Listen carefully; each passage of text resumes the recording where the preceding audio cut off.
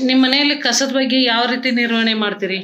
ಕಸದ ಬಗ್ಗೆ ಅಂದ್ರ ನಮಗೀಗ ಗ್ರಾಮ ಪಂಚಾಯತಿಯಿಂದ ಎರಡು ಬುಟ್ಟಿ ಕೊಟ್ಟಾರೆ. ಒಂದ್ ಕೆಂಪು ಬುಟ್ಟಿ ಒಂದ್ ಹಸಿರು ಬುಟ್ಟಿ ಕೊಟ್ಟಾರೆ.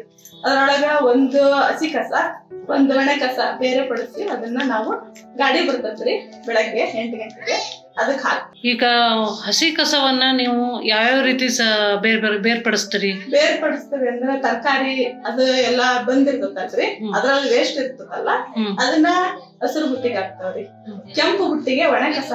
ಈ ಮೊದ್ಲಿಕ್ಕಿಂತ ಈಗ ಕಸ ಇಲ್ಲ ಗಾಡಿಗೆ ಹಾಕ್ತಿರಿ. ಇದರಿಂದ ನಿಮ್ಗ ನಿಮ್ಮ ಮನೆಯಲ್ಲಿ ಯಾವ ರೀತಿ ಸ್ವಚ್ಛತೆ ಉಳಿದೈತಿ ಹೇಳಿ. ಈಗ ಚೆನ್ನಾಗ್ ಅನಸ್ತತೆ ನಮ್ಗೆ. ಅವಾಗ ಅಲ್ಲೆಲ್ಲ ಹಿಂದ ಮುಂದ ಅಲ್ಲೆಲ್ಲ ಇಸಿತಿದ್ರು ಅಂದ್ರೆ ಜಾಗ ಇತ್ತಲ್ರಿ ಕೇಳಕ ಹಂಗಾಗಿ ನಾವು ಈಗ ಗಾಡಿ ಬರ್ತಾ ಇತ್ತಲ್ರಿ ಬುಟ್ಟಿ ಕೊಟ್ಟಾರಲ್ರಿ. ಹಂಗಾಗಿ ನಾವು ಅದಕ್ಕ ಬೇರ್ಪಡಿಸಿ ಹಾಕಿ ಗಾಡಿಗೆ ಹಾಕ್ತಾವ್ರಿ. ಅದರಿಂದ ಇಂದ ಮುಂದೆ ಎಲ್ಲ ಸ್ವಚ್ಛ ಐತ್ರಿ ನಡದ್ದು ಸೊಳ್ಳಿದ್ದು ನನಗೆ ಕಾಟಿಲ್ರಿ ಈಗ. ಇದರಿಂದ ನಿಮಗೆ ಏನ್ ಅನಿಸ್ತತಿ? ಒಳ್ಳೇದಾಗೈತ್ರಿ ನಮಗೀಗ ಈಗ. ಯಾಕಂದ್ರ ದಿನ ಬಂದು ಗಾಡಿಗೆ ಕಸ ಹಾಕೊಂಡ್ ಹೋಗ್ತಾರಲ್ರಿ?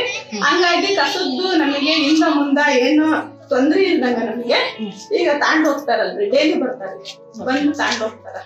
ಹಂಗಾಗಿ ನಮಗೆ ಇಂದ ಮುಂದೆ ಏನು ಸ್ವಚ್ಛ ಅನ್ನಿಸ್ತದೆ